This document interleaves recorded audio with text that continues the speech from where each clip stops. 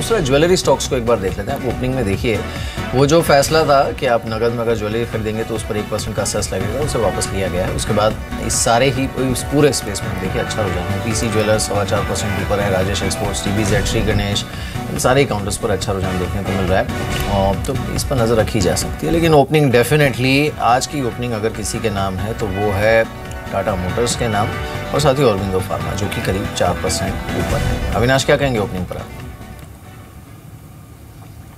I think मुझे लग रहा है कि क्लियरली टाटा मोटर्स के नतीजे ने मार्केट का सेंटिमेंट काफ़ी पॉजिटिवली सरप्राइज़ किया है। और मुझे लग रहा है कि कम से कम 8250 8260 का जो लेवल है एटलीस्ट नियर टर्म में मीर पॉसिबल लग रहा है।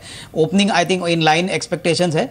मेरे ख्याल से जहाँ पे भी नतीजे अच्छे आ गए हैं, वहाँ पे मार्केट्स ने एक अच्छी थम्स अप दी है। मेरे ख्याल से क्लियरली आई थिंक आज का जो सेशन रहेगा, अगर मार्केट्स 8200 के ऊपर बंद रहता है तो मेरे ख्याल से आगे के लिए भी मोमेंटम पॉजिटिव रहना चाहिए। जी, इस बीच थोड़ा सा मैं इंडेक्स से बाहर निकल के जाता हूँ मिड कैप में और इनफैक्ट कुछ ऐसे स्टॉक्स आई थिंक जिन पर आपको नज़र बनाए रखनी चाहिए, जहाँ पे वॉल्यूम्स थोड़े से पिकअप हो रहे हैं। परसेंटेज विनर्स बट स्टिल बहुत बड़े फ्रैक्शन से नहीं। आप देखिए इस बीच एक Tribhuvan Das Bhimji Zaveri I mean T Z ये करीब करीब 12 परसेंट ऊपर, इकहत्तर के स्तर पर। लेकिन जो आई थिंक रिलीफ इनको दिया गया है, वो बड़ा है। सुपर हाउस को देखिए, करीब सात परसेंट ऊपर है, यहाँ पे तेज़ी है। लवेबल लॉन्जरीज करीब छः परसेंट ऊपर, चौदह रुपये का इजाफा यहाँ पर, दो सौ पचपन के स्तर पर कारोबार कर रहा है। और कुछ स्टॉक्स जहाँ पे तेज़ी है, इसमें अगर आप देखिए तो तो तो अगर आप देखें कोप्रान फिफ्टी थ्री के स्तर पर पाँच रुपये ऊपर, पाँच परसेंट ऊपर है। और एक मनक्षिया को देखिए करीब पाँच परसेंट ऊपर ये स्टॉक कारोबार कर रहा है। और, और जो एक दो इंटरेस्टिंग स्टॉक है आप देखिए एक तो श्री रेणु का ये तो है ही करीब सात परसेंट ऊपर रैम की इंफ्रा है जो कि छः परसेंट ऊपर।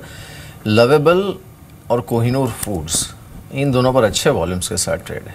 लवेबल करीब साढ़े छः परसेंट ऊपर है कोहिनूर फूड्स पर भी आ, अच्छा रुझान देखने को मिल रहा है। लेकिन आज क्लियरली इस लिस्ट में सबसे ज़्यादा आज अगर कोई स्टॉक्स हैं तो वो वो ही हैं सारे ज्वेलरी स्टॉक्स। एक धनलक्ष्मी बैंक ज़रूर है, जिस पर इंटरेस्टिंग मूव है, ये करीब नौ परसेंट ऊपर इस समय ट्रेड करते हुए। कोई स्टॉक इसमें से आपके रेडार पर है क्या, इम्तियाज़?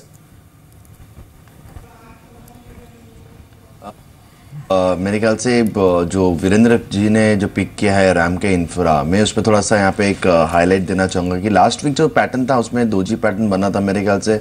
अगर ये स्टॉक सिक्सटी नाइन रुपीज़ को अगर सरपास कर जाता तो मेरे ख्याल से काफ़ी एक बड़ी तेज़ी यहाँ पे देखने मिल सकती है, जो कि स्टॉक को सेवेंटी नाइन टू एट्टी के रेंज को टेस्ट कर सकता है। तो रैम के इंडिया काफ़ी अच्छा लग रहा है सिक्सटी फाइव रुपीज़ का जैसे उन्होंने बताया, और जो एनालिसिस यहाँ पे प्रिडिक्ट हो रही है तो तकरीबन कह सकते हैं कि एक ट्रिपल टॉप फॉर्मेशन था वहाँ पे, और तकरीबन जो ट्रिपल टॉप का जो आ, कह सकते हैं टाइम पीरियड था वो काफ़ी अच्छा यहाँ पे बना हुआ है।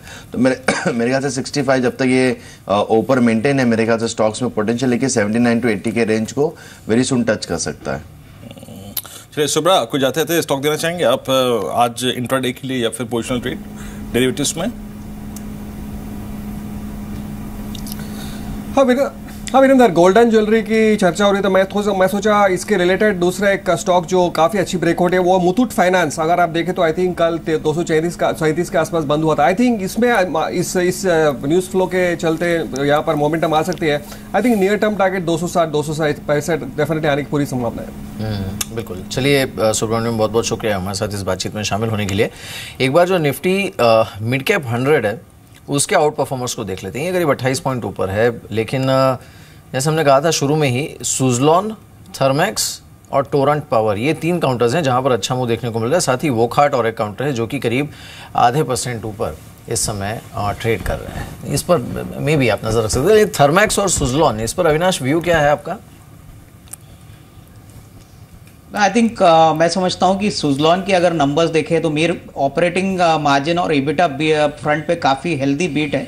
हमको लगता है कि नॉट ओनली डेट कम हो गई है बैलेंस शीट पे लेकिन जो लॉसेस है वो भी कम हो चुके हैं।